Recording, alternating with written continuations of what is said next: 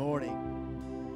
It's good to be in the Lord's house this morning. By way of announcement, today we have choir practice at 4 o'clock. Band needs to be here at 5. Prayer in the sanctuary at 5.30. Men, don't forget we're meeting at pastor's office. Uh, don't forget prayer meeting tomorrow night at 7.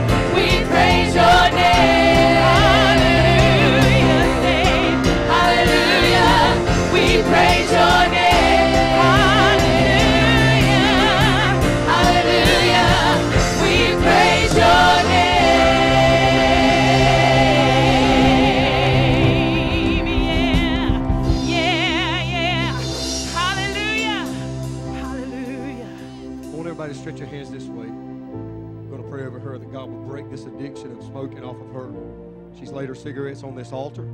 She's trusting that God's going to deliver and set her free. I want us to pray over her right now. Her name's Ashley. I want to ask God to. She said I should have walked up there Wednesday night, but she's got her cigarettes. She's laid them on the altar. They're praying with her about it now. I want us to bind together right now and bind this addiction that's on her. That God would just break it off her completely. Father, in the name of Jesus, we proclaimed it Wednesday night that you nailed those sins to your cross. And Father, we just declare right now freedom and liberty over Ashley. God, that you're going to completely set her free and deliver her, God. Father, she has brought these things to this altar and she is declaring and proclaiming, God, that she's going to be free from these. And Father, we just bind with her right now. You tell us in your word, God, that you've given us the keys of the kingdom. Whatever we bind shall be bound, whatever we loose shall be loosed. And Father, we bind this addiction right now in the name of Jesus. And we declare freedom and liberty for my sister right now in the name of Jesus. Father, there are a lot of concerns that she has. And I pray, God, that you would take all those fears away. Those fears of what if. God, I pray that you take those away. God, that she could be at complete liberty and freedom, God, to be able to walk in what you've called her to walk in. Father, we bind this enemy right now. Devil, quit lying to her. Quit trying to make her believe this or that. God, we come against it right now in the name of Jesus. And we declare freedom and liberty over Ashley. And Father, I pray, God, that you give her strength to begin to walk in the freedom that you've declared in her life, to begin to walk in the liberty, God, that you've declared over her. That which Jesus has already done through the cross that set her free. He that the Son is set free shall be free indeed. And Father, we declare freedom over her in the name of Jesus. In the name of Jesus, Father, we bless your name tonight. We thank you today, God, for what you're going to do and what you've done, Lamb of God. We just praise you right now in the name of Jesus. We believe in it. We're calling it done by faith. God, we're walking by faith and declaring it by faith that what you declared in your word, it is done. It is done in the name of Jesus. It is done. We just proclaim liberty right now in the name of Jesus. Come on, folks, give the Lord a hand clap of praise in his house tonight. Hallelujah. Father, we worship you today. We worship you today. We worship you today. We worship you today. We worship you today. Come on, folks. Hallelujah. Hallelujah.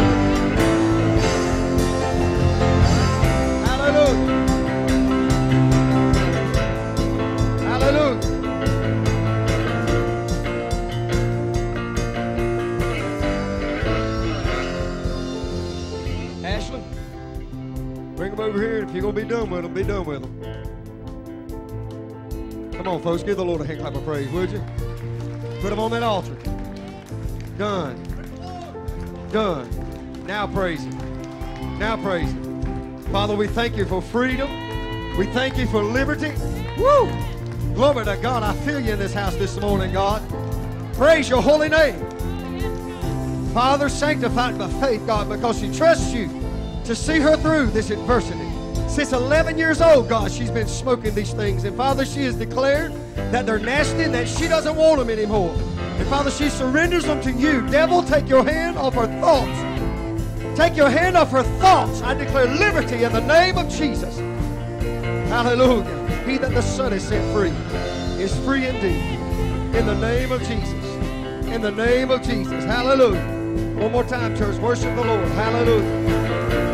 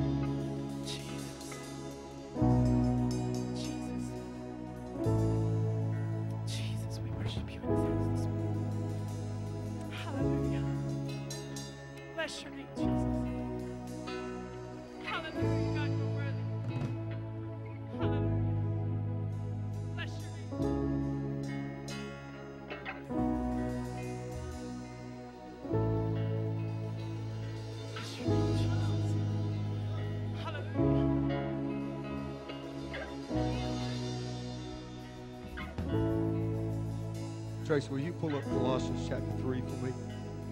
I want to read this scripture. Actually, I want you to pay close attention to the scripture, honey, but I want, I want everybody to listen to what Paul is saying to the Colossian church here. I'm not preaching on this this morning, but God just dropped this scripture in my spirit. Colossians chapter 3, we're going through verse 17.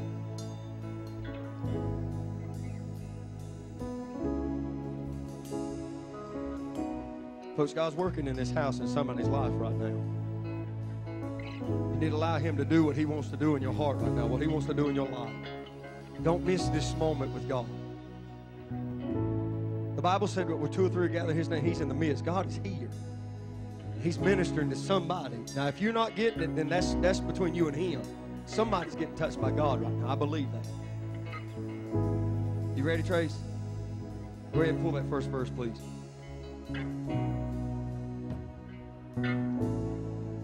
Colossians 3, chapter 3.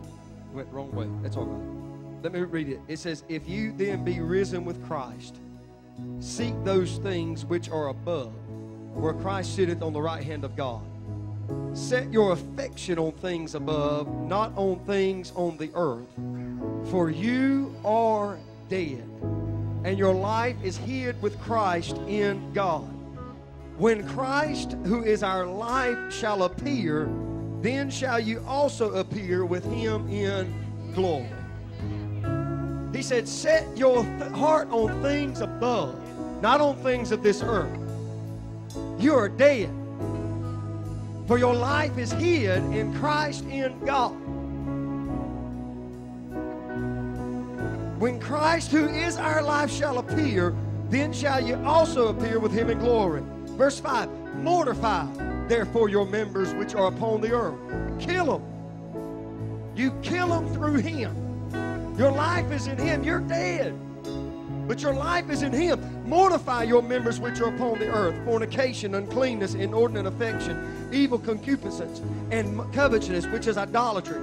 For which things' sake the wrath of God cometh on the children of disobedience, in the which you also walked sometime when you lived in them.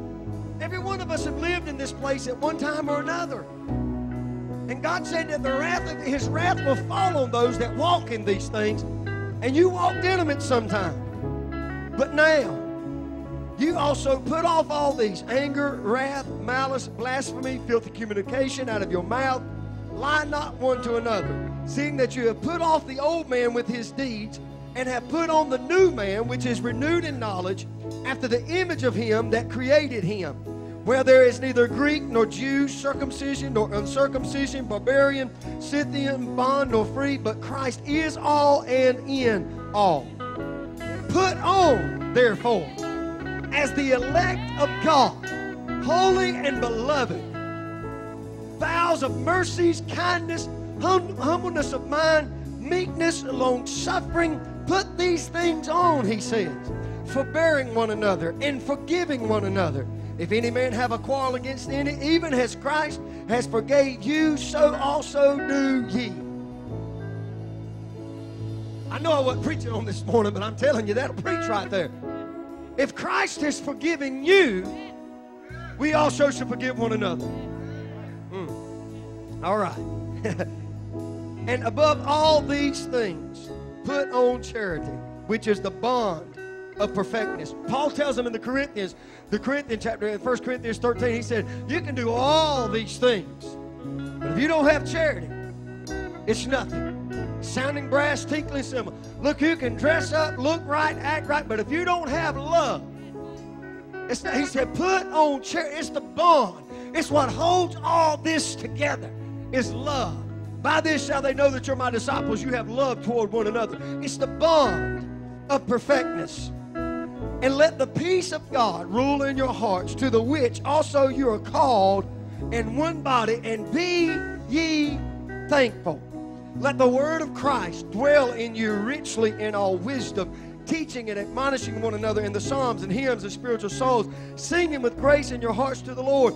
And whatsoever you do in word or deed, do all in the name of the Lord Jesus, giving thanks to God and the Father by Him. Ashley, set your affection on things above, not on things on the earth, for you are dead. You are dead. Your life is not in those cigarettes. Your life is not in what the devil's trying to lie to make you fit a mold that you'll look a certain way or act a certain way so that you'll please people. You are to please Him.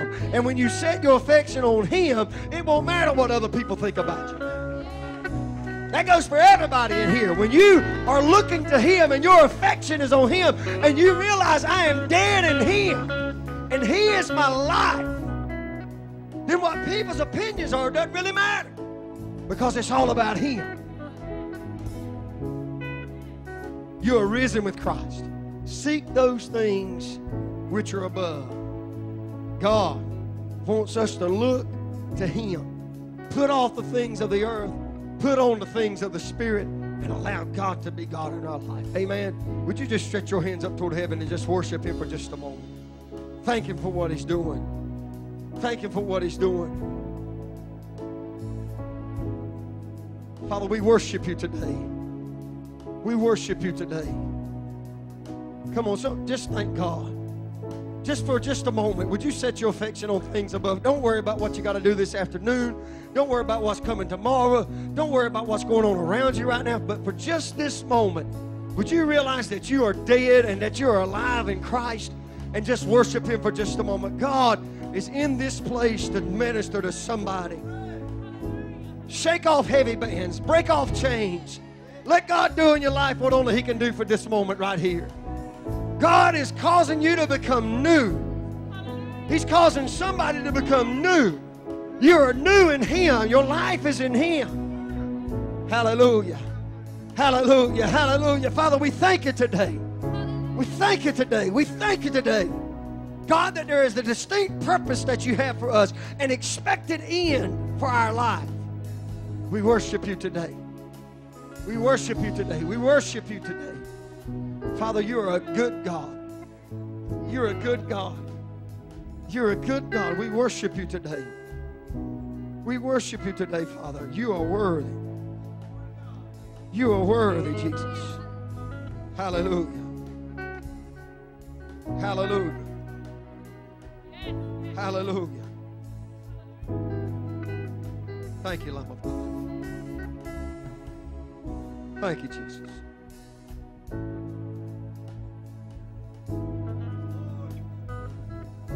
Declare that bridge with the singers. Come on, declare that bridge right now. Glorious, matchless in Come on, sing it, every sing it. wonderful. Come on, just keep worshiping for a moment. Beautiful. Come on, think about it. Glorious.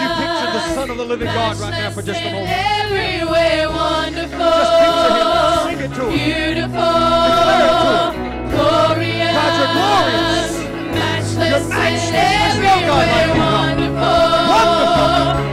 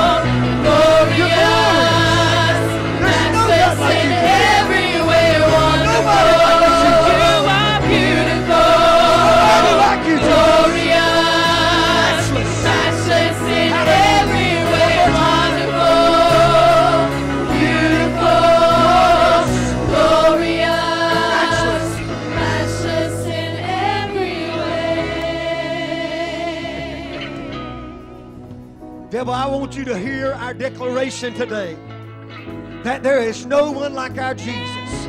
You have tried and tried and tried, but I want to declare today that in Him we've been made more than a conqueror, and you lose.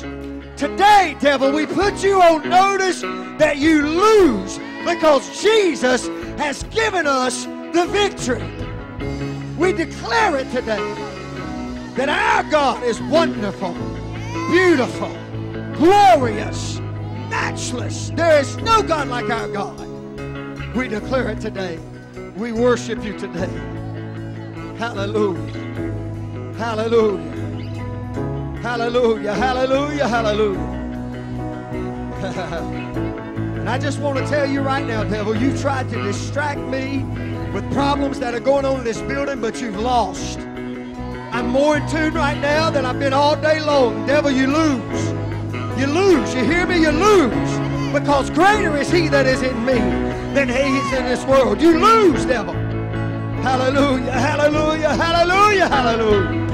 Hallelujah, hallelujah.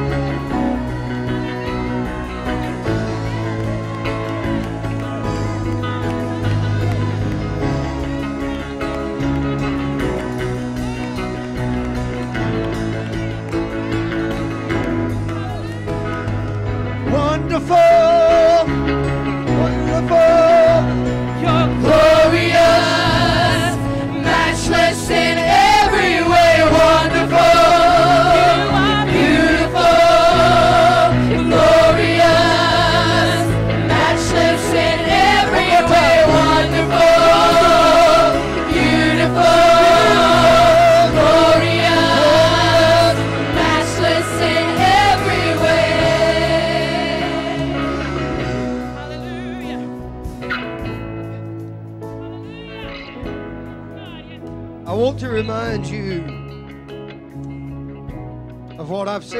last several weeks. The liberty and the opportunity that we have right now happened because somebody died. And because he died, we die. But because he lives, we live. Woo! I like the way Paul put it. I am crucified with Christ. Nevertheless, I live, yet not I, but Christ lives in me.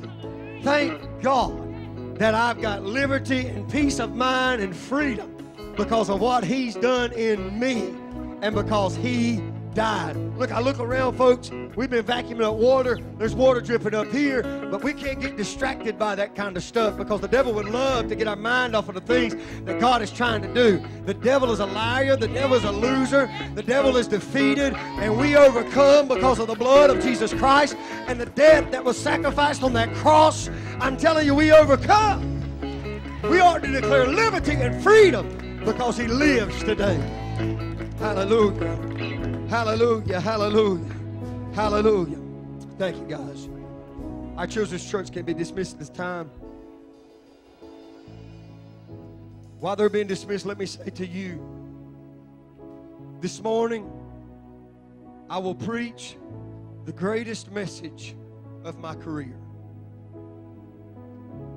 Today, I'm going to join with thousands of pastors across this United States and this globe. And we will preach the greatest message of our career. There's no other message like the one that I will preach to you today. This morning, I will be joined by you in proclaiming the greatest message ever declared in all of the earth. An unusual feature of this preaching is that I and other preachers in other congregations will have the opportunity to do this without saying a word. Because we can declare today and proclaim the death of a risen Savior, but proclaim the death of Christ. The most beautiful love story ever known to man is that a man would die for somebody like me. Wow. What a story. One Movie writer put it this way the greatest love story ever told. That a man named Jesus would leave the portals of heaven and the beautiful, beautiful glory that he was able to behold and come and dwell amongst men and die. I want to read this morning 1 Corinthians chapter 11, beginning with verse 23. You would stand, if you're not already standing, I appreciate it for the honor God's word this morning. Paul said, I have received of the Lord that which also I delivered unto you, that the Lord Jesus, the same night in which he was betrayed, took bread. When he had given thanks, he brake it and said, Take, eat. This is my body, which is broken for you. This do in remembrance of me. After the same manner, also he took the cup when he had supped, saying, This cup is the New Testament in my blood. This do ye as oft as you drink it in remembrance of me. For as often as you eat this bread and drink this cup, you do show the Lord's death till he come. Tonight, we'll take communion. Tonight, without uttering a word, we'll show forth the Lord's death and proclaim the greatest message ever preached. Folks, you need to understand that this is what it's all about. Because if this had not happened, none of this would have been possible. A man had to die. And I don't want us to ever forget that Jesus Christ hung on a bloody cross, sacrificed his life. He said, No man taketh my life from me, I lay it down myself. Don't ever forget the climax of this glorious gospel that a man died that blood might be shed for the remission of your sins. It's the greatest message ever preached. Father, help me today. Help me to do what you call me to do to minister this word. I pray, God, that we would leave this place a little more appreciative, a little more understanding, God. God, I just want to say right now that stuff we face and things we go through, things that bother us, things that trouble us, things that get us stressed out, none of that really compares to what you went through to take our place. The horrificness of the death of the cross. Father, that is what the church should be proclaiming to the lost. Is that a man died that they might have life. He now lives that we may live also.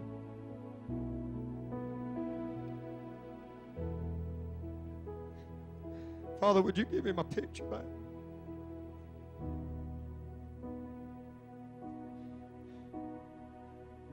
I lost focus. I've gotten so caught up in all this other stuff going on and so stressed about this, that, and the other. God, that my picture of Christ hanging on the cross is it's not at the forefront of my mind, but God, I want to bring it back. God, I want you to bring it to the forefront of everybody's mind that's here today.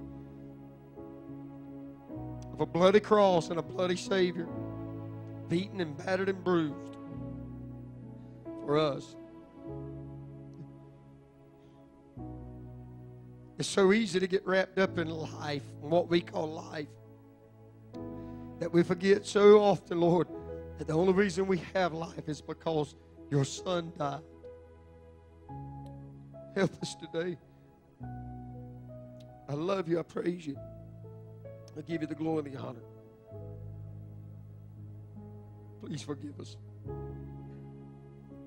For times we've trampled underfoot the precious blood of the Lamb. We die to you, God. I love you. I praise you. I give you the glory and the honor. Ask it in Jesus' name. Amen.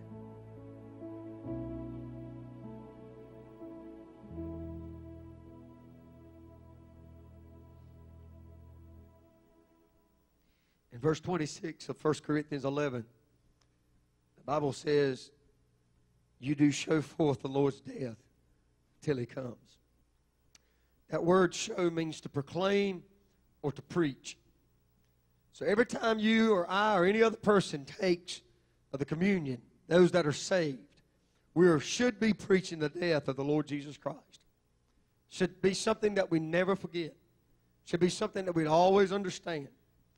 It's so easy in life to get so wrapped up in this problem and this concern and this activity and this this uh, you know uh, situation or these circumstances. It's so easy to get wrapped up in that.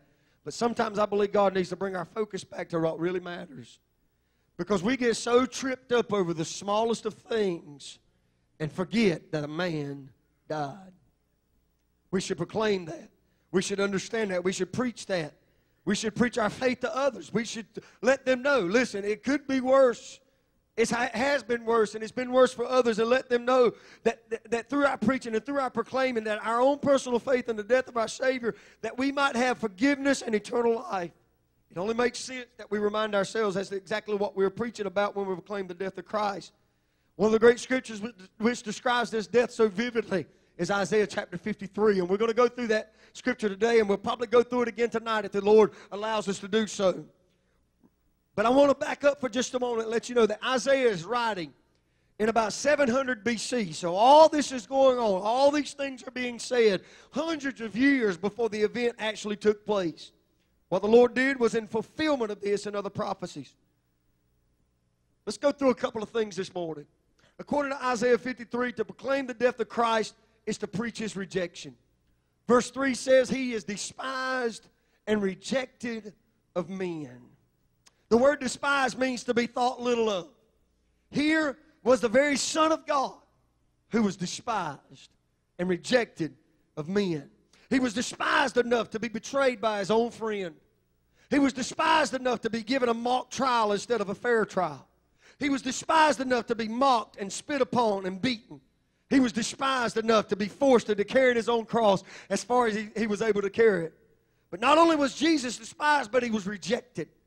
Israel, as a nation, had rejected Christ, had turned their back on the Messiah, the very one that they were looking for, but they despised him and they rejected him. And most of all, the people within the nation also rejected him. The Bible tells us in John 1:11 that he came into his own, and his own received him not. Today, the same thing is happening. He is despised, he's rejected by people who do not want him as their Lord and Savior. In his day, Jesus was despised and rejected of men. In our day, Jesus is still despised and rejected by men. The question is, is has Jesus been despised and rejected by you? Are you here this morning and not accepted him? Because not to accept him is to reject him. You can't be neutral about Jesus. Either you're going to serve him or you're not.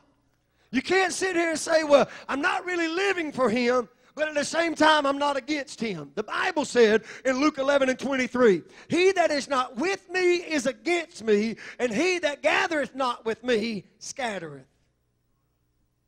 You have to know today are you on the Lord's side? Are you sold out completely to Him? Otherwise, you are rejecting Him and casting Him off. Again, in Isaiah 53 and 3, the Bible said that He was a man of sorrows. The Lord knew what it was to have friends to forsake Him. At one point, he had 5,012 men, plus women and children, standing on a mountainside with him, and he began to declare the authority of God's word. While he was declaring it, he took fish and broke it and fed them and took care of them. But then he began to declare the word of the Lord. And the Bible said that he looked at them and said, Unless you eat of my flesh and drink of my blood, you'll have no part in me.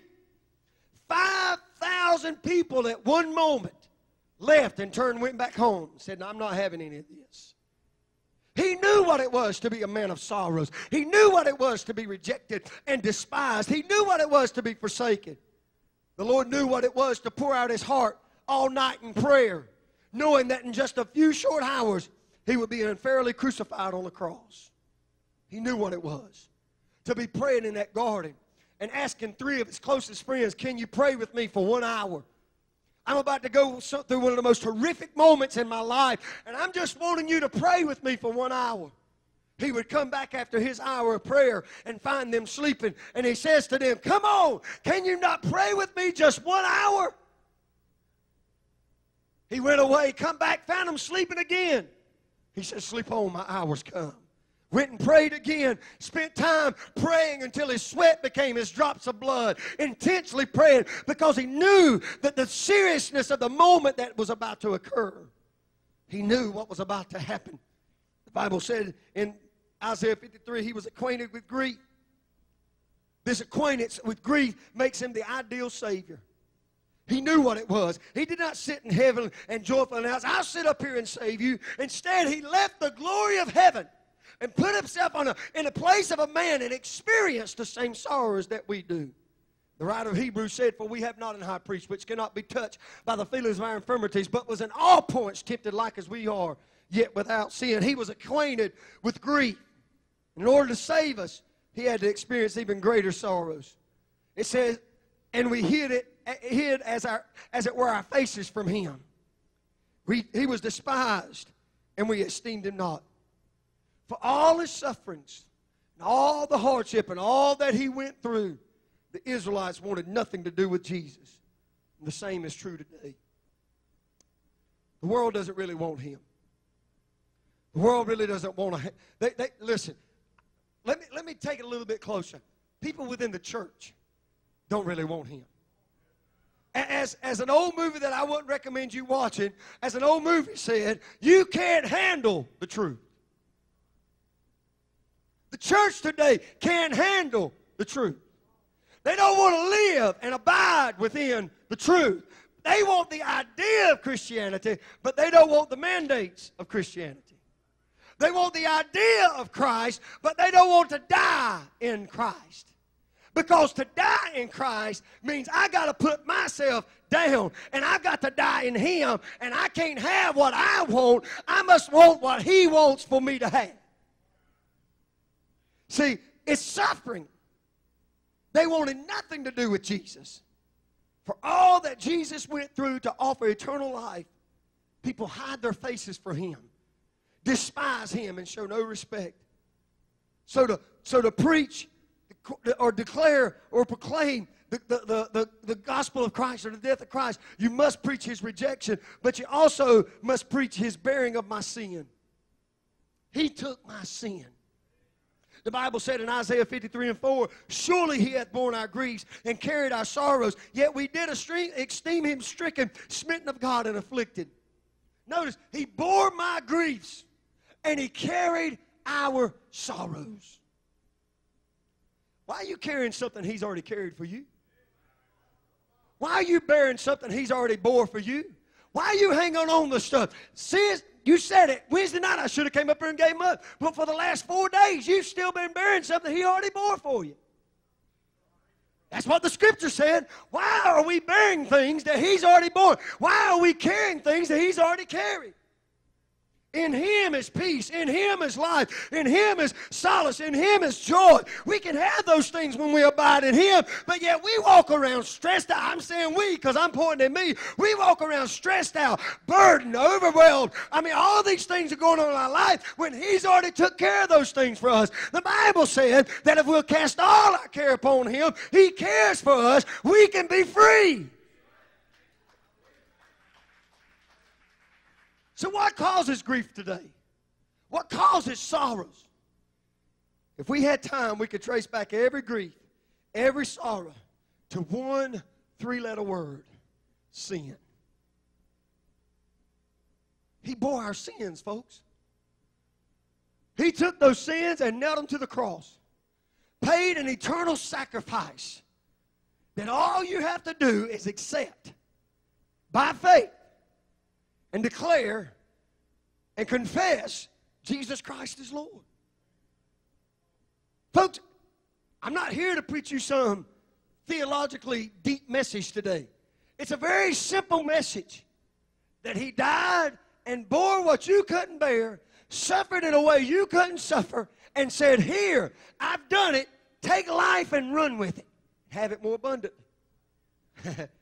See, it's all about sin.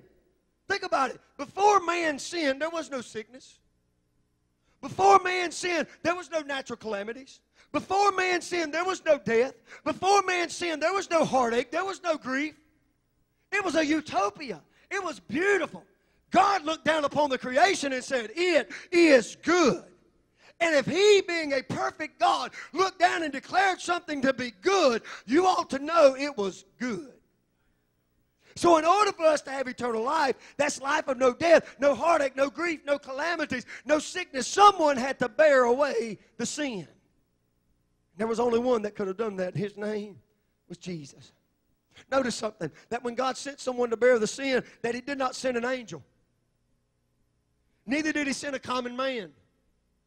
Instead, God sent His own Son, God Himself, wrapped in the flesh to take care of the problem. Verse 4, look at it. It gives an ironic twist. It said, after He did all this, yet we did esteem Him stricken, smitten of God, and afflicted. See, this was the attitude of the Jewish rulers who had Jesus nailed to the cross. They accused Jesus of blasphemy because he said that he was the Son of God. Look at what Luke says in Luke 23 about the crucifixion. Jesus says, Father, forgive them, for they know not what they do. And they parted his raiment and cast lots. And the people stood beholding, and the rulers also with them, derided him, saying, He saved others, let him save himself. If he be the Christ, the chosen of God. And the soldiers also mocked him, coming to him and offering him vinegar, and saying, If you be the king of the Jews, save yourself. Right here, Isaiah's prophecy is coming true. He's bearing the sin, he's bearing the grief, he's bearing the sorrows, he's carrying those things. And while he's in the midst of it, they're mocking him, they're laughing at him, they're riding him. And what did he do? Father, forgive them, for they know not what they do. Oh boy, could, couldn't we couldn't we stand to have a little bit more Jesus? Could, couldn't we stand to be just a little bit more like him? Couldn't, couldn't, wouldn't it be nice if, if people could just see him in us when the world has thrown everything they can at us and they're still laughing at us? We're on our deathbed. They're trying to tell us how bad we are. They're trying to tell us how worthless we are. But yet we look at them out of love and mercy and compassion and declare, Father, forgive them, for they know not what they do. Wouldn't it be nice to have just a little bit more Jesus in our life? Oh, Lord, help me today. See, you got to preach his rejection. You got to preach the fact that he bore my sins. If you're going to really proclaim the death of Christ, you also must preach his substitution. Isaiah 53 and 5 says he was wounded for our transgressions. He was bruised for our iniquities. The chastisement of our peace was upon him, and with his stripes we are healed. Think about this for a moment. His wounds they put him on that whipping post and they beat him within an inch of his life. They ripped flesh, they ripped meat, they tore the skin out. His organs were literally visible as his flesh was ripped away. They used every torturous tool that you could imagine and whipped him until he was barely able to hold himself up. But yet the Bible said that those wounds were for our transgressions. He was wounded because humanity had fallen into sin. He was wounded for our transgressions, he was bruised for our iniquities. Think about this for just a moment. What if you done an idiotic thing in a store and your wife or your kid was there with you? Then all of a sudden, the owner and the security guard of that store came over and begin to wail on your wife or your kid or your husband because of what you did. We wouldn't like that too much. We wouldn't like the thought of that too much. Matter of fact, we'd probably jump in and try to stop it, try to try to make sure it didn't happen. We'd do everything we could because we're the one that committed the idiotic uh, uh, uh, uh fallacy. We're the one that did it. We're the one that messed up. Why are we going to sit and watch our child get beat to pieces? Why are we going to watch us, uh, see our spouse get beat down the, that way because we made a mistake? We messed up. We made a bad choice. We did something we shouldn't have. Why are we going to sit there and watch somebody else suffer? But that's exactly what Christ did. He took the whipping for us when we were the ones that blew it. He did nothing. There was no guile found in him. He did not do anything out of the way. He did not commit sin, and yet he died because of the curse of sin. He did that, folks, so that you and I could live. He was bruised for your iniquities. the chastisement he received was so that you and I could have peace with God. They plucked his beard. They put a crown of thorns on his head. They mocked him. They laughed at him. They railed on him. They bowed before him in mockery and said, Hail, King of the Jews. They put a nameplate over his head on the cross. Here is the King of the Jews. Made sure they put it in uh, three languages so that everybody would be able to know exactly what it said. And he was chastised so that you and I could have peace with God. Now, what does that say about that chastisement? What does that say about that bruising? What does that say about that wounding when you and I discontinue walking in peace with God? What are we doing to a Savior? What are we doing to a Master? What are we doing to a Lord when we say, you know what? I'm just going to keep myself in array. I'm going to continue to bear my grief. I'm going to continue to carry my sorrow. I know you were wounded. I know you were bruised. I know you were chastised. And I know you did it for me. But I got this one, Lord. I don't need what you have to offer for me. What's that say about us? What does that do to Him? We're walking around stressed out. We're walking around bombarded. We're walking around with all this stuff on us when Jesus already went through all this so that we could have peace with God. Those stripes that He bore on His back were so you could be healed, folks. Can I tell you today, those stripes were not borne in vain? Amen. Some of you, God is healed, miraculously healed. And it was because of those stripes. Those stripes weren't in vain.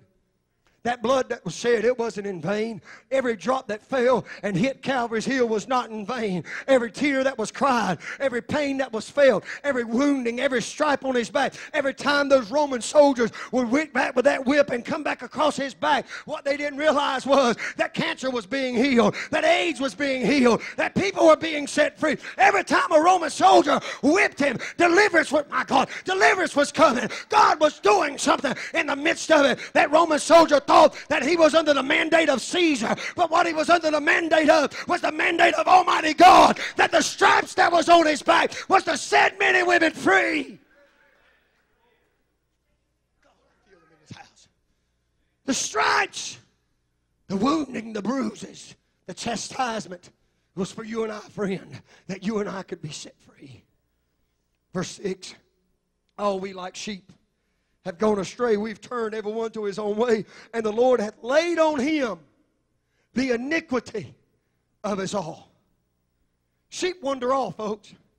That's why shepherds have that big old stick with a hook in it. Because when they get out of line, they grab that hook and yank them back in line, get them back in place. Sheep wander off. And Isaiah said, We've just like sheep, we wander off, and we do. We fall into the trap of sin. We fall into the potholes of the enemy. All of us have wandered astray. We leave the right path and we do what displeases God. No one is excluded. We've all, like sheep, gone astray. It says we have turned everyone to his own way. Now, folks, that's the true definition of sin right there. Yeah. We have turned everyone to his own way. I'm going to do what I want to do. That's sin, folks. That's it right there. The Bible said that we are not tempted of God, but we are, when we are tempted, we are drawn away of our own lust. We have everyone turned our own way. We go after what we want. We do what we want to do. We live how we want to live. And if nobody else like it, then fooey on them. Even God. I'll do what I want to do. I'll live how I want to live. And when I come in this church and I give my tithe and I lift my hands and I say, oh, praise the Lord, then God, you owe me because I'm doing what I'm supposed to do. But Monday through Saturday is mine. I'll live how I want to live. Come on, folks. We've turned to our own way. And the Lord took that iniquity. God took that iniquity, every one of us, and laid it upon the Son of God your hard headedness, your, your rebellion. Our hard headedness, our rebellion. I don't want to feel like I'm preaching at you. I want to preach with you here a little bit. It's, it's our iniquity. It's what we did. And God said, I'll lay it upon the Son of God. He didn't deserve it. He didn't ask for it. He didn't need it. He could have he could have just done what he did. He could have stayed up in the heavens. We could still come in here and sacrifice rams, bulls, and goats and try our best to achieve the law. But God said there's a better way. And I'm sending my only begotten Son to die once and for all and wash all this away if they'll just accept him. See, that's sin. See, we don't sin because this fellow in a red asbestos suit with a pitchfork and a ponytail comes up and goes, boo! Oh, I better sin. That's not the thing, folks. He don't walk up and say, hello, I'm the devil, let's sin. He's subtle. He makes us think that we want something or desire something. See, that's, that's where it's at. We sin when we seek to satisfy ourselves. We turn to our own way. It's going to feel good. It will. The Bible describes sin as that there's pleasure in it, but it's only for a season. Those things that you do that you shouldn't be doing, it feels good for a moment. Young people, those things that the other young people try to get you to do, it's just for a moment. It'll feel good for a little bit. I mean, folks, I'm telling you, let's just try it just a little bit. Let's just let's just let's just see how far we can go. And that's all the devil's trying to do is just be subtle enough to hook you and grab you, put a chokehold on you, and snatch you into a life of sin and rip you away from the hands of God. Sin will put a gulf between you and God. You need to be careful of that. That guy in the red suit, we could turn down. You could tell him, No, I've submitted my life to God. I'm resisting you. You can turn him down. You could tell him, No, I, I, I've been guilty of sin, but our sins have been paid for by the Lord Jesus Christ. He has washed me, He has cleaned me. Though my sins were as scarlet, they should be whiter than snow. I declare today my freedom, my liberty, because of the sacrifice that Jesus Christ paid for me. I know I blew it, I know I messed up, but today I confess it before the people of God and before the church of God and before the, the heavens of God. I declare today that Jesus Christ died for me. He has washed me, cleaned me, made me a new creation. I am not my own. I've been bought with a price. And my declaration today is that the devil lost, Jesus won, and I'm going to overcome through the glory of God. We're guilty. The Lord laid the iniquity of us all on him. See, if you're going to preach the death of Christ, you need to understand that he was your substitute. How important is it for you to have a substitute for your sin? See, folks, if Jesus did not pay for your sins, you'd be judged and forced to pay for your own sin. Matthew 13, 49 and 50 says this So shall it be at the end of the world. The angels shall come forth and sever the wicked from among the just, and shall cast them into the furnace of fire. There shall be wailing and gnashing of teeth. Folks, if Jesus did not die for your sin, you'd have to stand before God and justify your own sin, and there is no justification in ourselves. And you'd be condemned to an eternal flame of hell. Thank God for Jesus Christ. Mark 9:44 describes a place as where the worm dieth not and the fire is not quenched. God gave us a substitute. Today, I want to praise God for the substitute. 2 Corinthians 5 and 21. The Bible said, For he hath made him to be sin for us, who knew no sin, that we might be made the righteousness of God in him. Folks, he took upon the sin for us that we could stand righteously before God. Thank God that he has separated us and that he has consecrated us and that he has paid the sacrifice that you and I might live. It is a substitutionary death. We should have died, but he died. We should have been crucified, but he was crucified. We should have been dead in hell, but he descended to hell and came out alive forevermore. Thank God that he did that for us. It was a substitutionary death. He did what should have been done to us. If you're going to preach the death of Christ, you've got to preach his burial. Isaiah 53, verse 9. He made his grave with the wicked and with the rich in his death because he had done no violence, neither was any deceit in his mouth. In his death, Jesus was assigned to die with wicked men, criminals. A criminal's death would have meant that he had to have a criminal's grave, but he didn't. He was buried in a rich man's tomb. The reason? They found no violence, no deceit. Matter of fact, Pilate says, I find no, no cause to crucify this man. There's no just cause whatsoever. What you're trying to do here is wrong. Pilate washed his hands of it and said, I'm done. If you want to do it, you do it, but I'm not going to have any part to do with it. He didn't have to be buried in a criminal's grave. He was buried in a rich man's tomb. It was the tomb of Joseph of Arimathea, the one who laid the Lord Jesus in his own new grave. Listen, I think that it's important to remember that being buried in a rich man's tomb that never been used, it would be very easy to confirm his death, burial, and especially his resurrection. No other person had been buried in this tomb, and the tomb was empty. Can't blame the bones on anybody else. It's a new grave.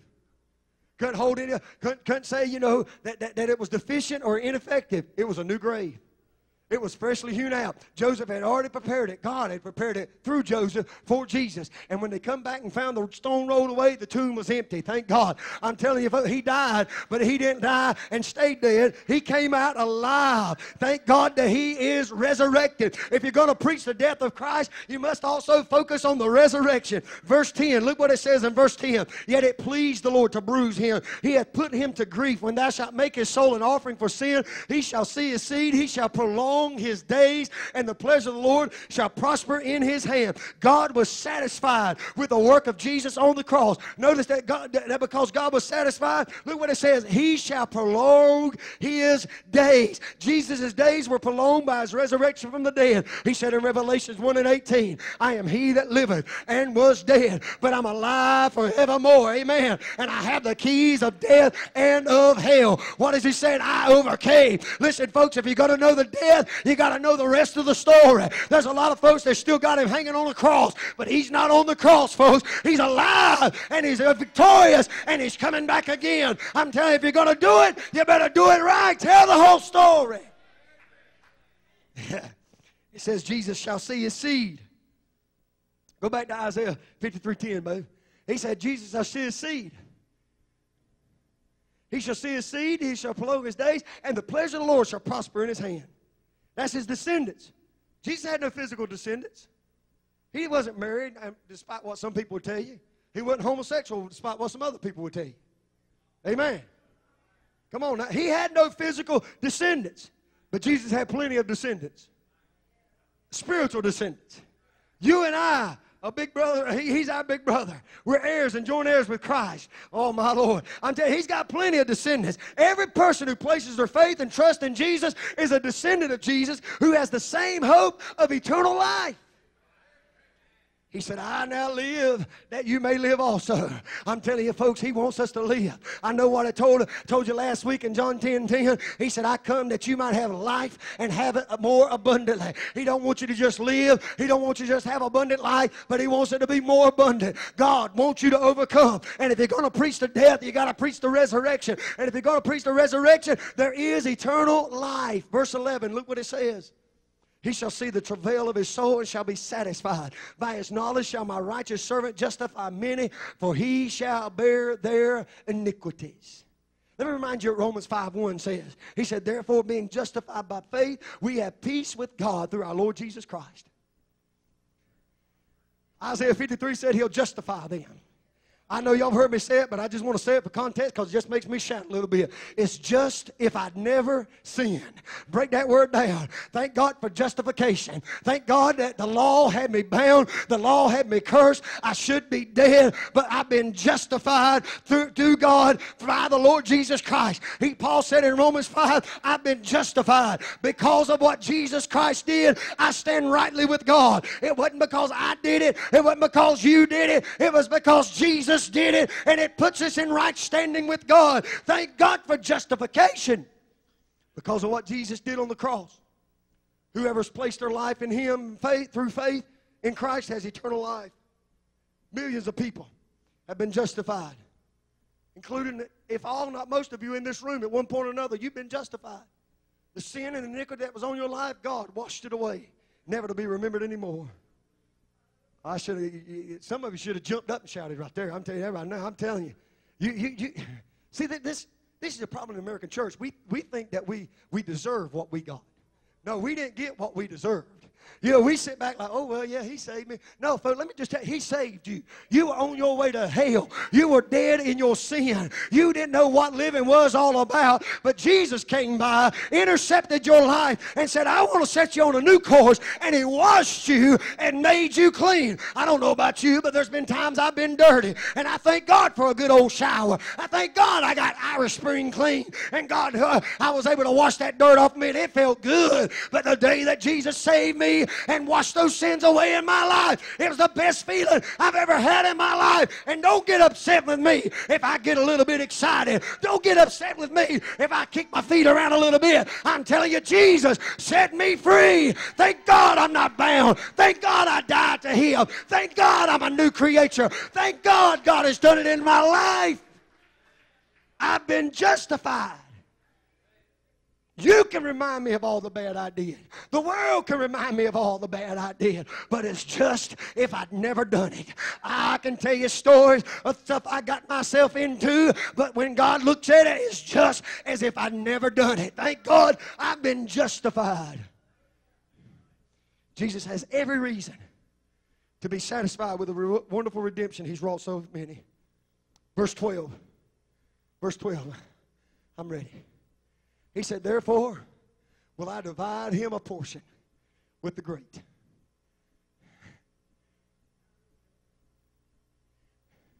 Nobody greater. Nobody greater. Nobody greater than you. There's nobody like him, folks. There's nobody like him. He's been divided with a portion with the great. Philippians 2 9 and 11 puts it best, I do believe. The Bible tells us, Wherefore God hath highly exalted him and given him a name which is above every name, that at the name of Jesus every knee should bow of things in heaven and things in earth and things under the earth, and at the tongue that every confess that Jesus Christ is Lord to the glory of God the Father. I'm telling you, we're coming to the Lord's table and we're coming to preach and we're still coming to proclaim his death. But thank God he died, but thank God he resurrected. Thank God he's coming back again. Thank God, I'm telling you, folks, it's something to get excited about that Jesus Christ lives. He lives. He lives. How do I know? Because he lives within my soul. Thank God for the resurrection. Thank God for eternal life. Thank God for salvation, justification. Thank God for his glorious blessing. If you're going to preach his death, preach his rejection, preach his bearing of my sin, preach his substitution, preach his burial, but preach his resurrection. Folks, I'm telling you, he did it so that you and I could live. I don't know what you've been through over the last several days or weeks, but mine have been rough.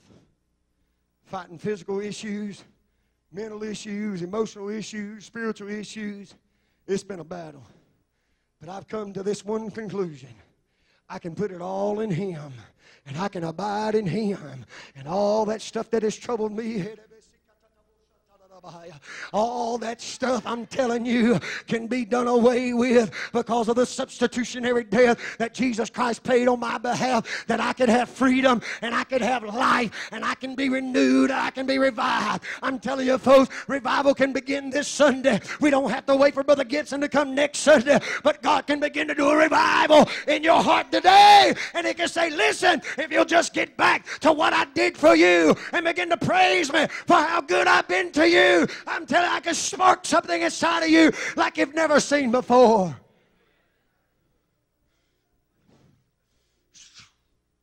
God, I feel him in this house today. Would you stand all across this house? Oh, my Lord. Hey, may may shake.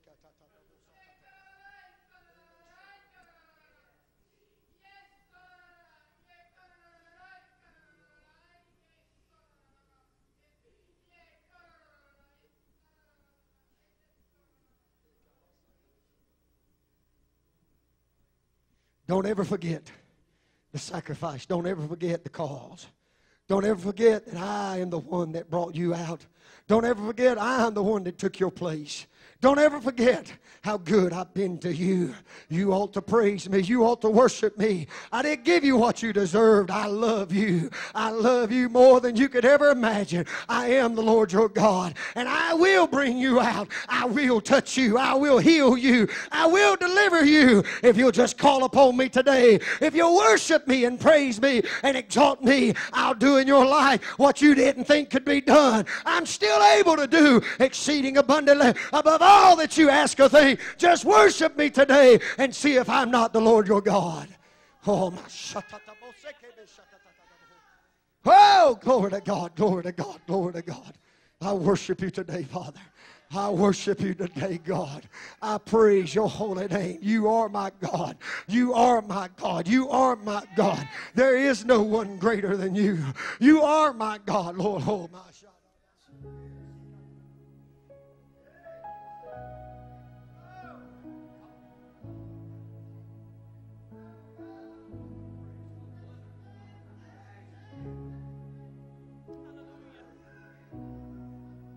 Hallelujah. Woo! Oh, Lord.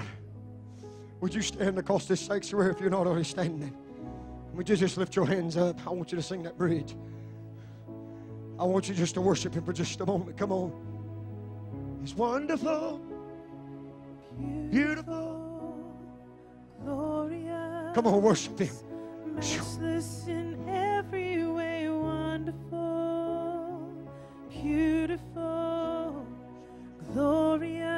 He's matchless. Matchless in every way, wonderful. Come on, worship Him.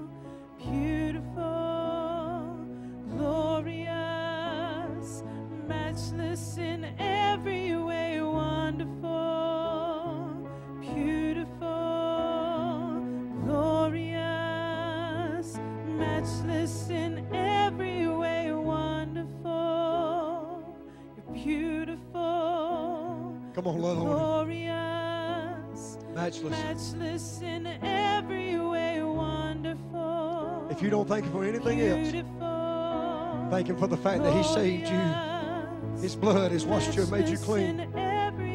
If you're here today and you got sin in your life, just lift your hands and begin to confess the Lord Jesus Christ as your Savior. Ask Him to wash you, ask Him to make you clean. If you're here today and you've got things that bind you, as Ashley's brought hers to the altar, would you just lay it and confess it to Him? Give it unto Him and say, Lord, you take it. It's not mine. You bore my griefs. You carried my sorrows. If you're stressed out over stuff today, don't get stressed any longer. Abide and set your affection on things above in heaven and not things on the earth. Let God take care of it.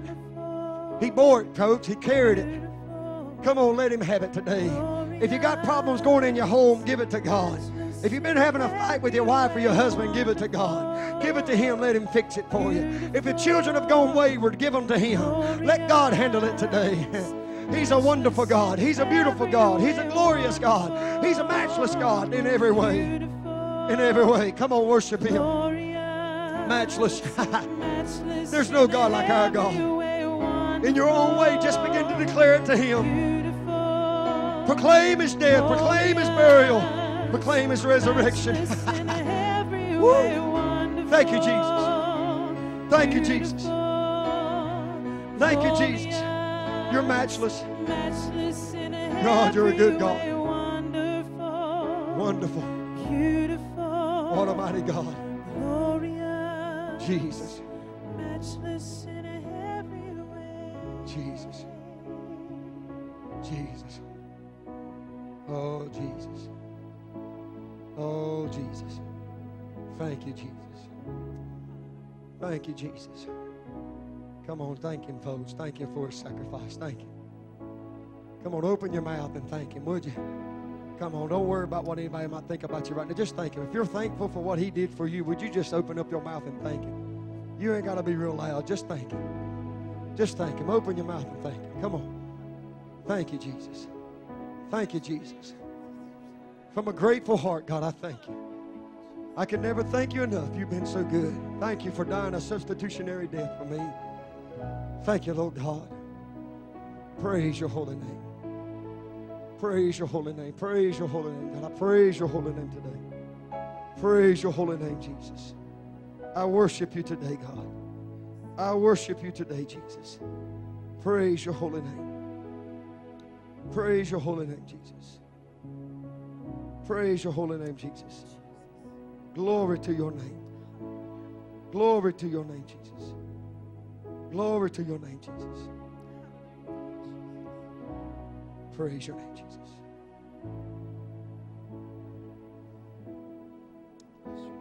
Praise your name, Jesus.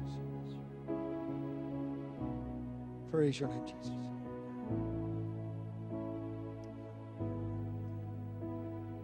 Hallelujah. Hallelujah. I got, I, got, I got to share some scripture with you and then I'm going to dismiss, okay? I, I, want, I want to leave you with this scripture because I, I, want, I want everybody, if you can, if, you, if it is humanly possible for you to be back tonight, we're going to share in communion. We've not done this in a while. We're getting ready to go in revival. Revival starts next Sunday. But I want, I want us to come back tonight. And I want, I want you to partake of communion as a family. To come together in the bonds of unity and love, remembering what Jesus did for you and how he paid that sacrifice. But I also want to share with you a warning, as Paul warned the Corinthian church about partaking of the Lord's Supper. And I want you to dwell on this tonight, or this afternoon, and come back tonight, prayed up, ready to receive and worship and magnify God for the sacrifices of his death. I read you those scriptures about as often as you do it, you do it in me. And you show the Lord's death till he comes. But I want to read the remainder of that chapter. It Whos- Wherefore, whosoever shall eat this bread and drink this cup of the Lord unworthily. None of us are worthy, folks. Not in of ourselves. None of us are worthy. But what he's saying is if you know that there is unconfessed sin in your life, don't do this. There are things in your life that you've not committed to him. Don't partake. But today, I want you to take time and I want you to pray and seek the face of God and ask God, is there something in me, God? Is, is there something? Because if you do it unworthily, he said, you shall be guilty of the body and the blood of the Lord. Verse 28 says, But let a man examine himself. And so let him eat of that bread and drink of that cup. For he that eateth and drinketh unworthily, eateth and drinketh damnation to himself, not discerning the Lord's body. Don't partake if you know you got sin. Deal with that sin this afternoon and be able to come in and partake of this in, in good fellowship.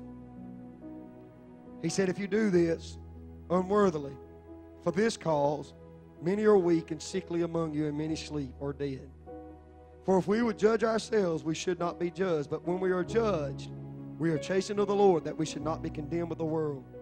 Wherefore, my brethren, when you come together to eat, tarry one for another. If any man hunger, let him eat at home, that you come not together unto condemnation. And the rest I will set in order when I come. 1 Corinthians 11. If you need to go back and read through it and take some time to pray this afternoon, get alone with God. Ask God to search your heart, examine yourself. When we come back tonight, I really believe that some things can happen in somebody's life. I'm telling you, there's something about the blood. If we recognize and show the Lord's death, the blood and the body of Christ, I tell you, it, it, it, it can bring healing, it can bring deliverance. I, I just showed you through Isaiah 53 why he suffered what he suffered. And hopefully, some way, somehow, partaking of the Lord's Supper tonight would have a new meaning to you to understand. If it's not, maybe not a new meaning, but a, a renewed meaning. That a man died, his body was broken, his blood was spilled out so that you could have life. But he, he cautions us not to do it unworthily because you bring damnation upon yourself. Search your heart, examine yourself. Don't judge yourself. Don't just look at yourself and say, you know what? I, I think I'm good. Don't, don't assume. Spend some time with God, and the conviction of the Spirit comes, deal with it.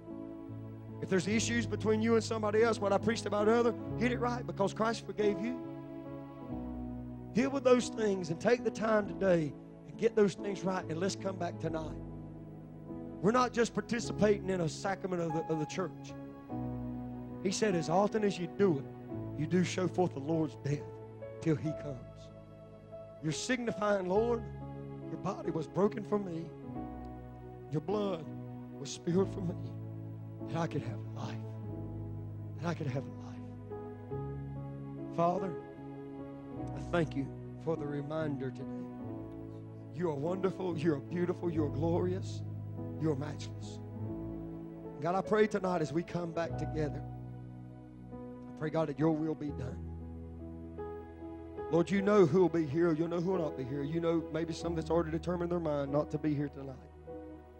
God, I just pray that they would come and preach this message with me, the greatest story ever told. God, that we would come back tonight without saying a word. Do show forth the Lord's death till he comes. Keep us safe. Keep us in your care. All that we do, all that we say, God, that you might receive the glory and the honor. We'll praise you for it. In Jesus' name. Amen. God bless you. Have a